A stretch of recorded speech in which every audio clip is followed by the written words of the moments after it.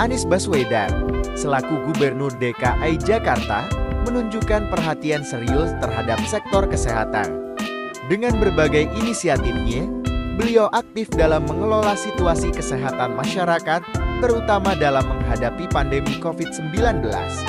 Anies menegaskan pentingnya kerjasama antara pemerintah dan masyarakat dalam menanggulangi penyebaran virus melalui kebijakan pembatasan sosial berskala besar PSBB dan upaya pengadaan fasilitas kesehatan, Anies berusaha memastikan ketersediaan layanan perawatan yang memadai bagi warga Jakarta.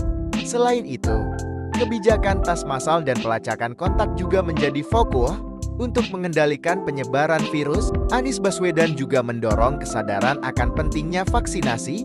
Program vaksinasi massal dilakukan secara terorganisir, menyediakan vaksin bagi seluruh lapisan masyarakat.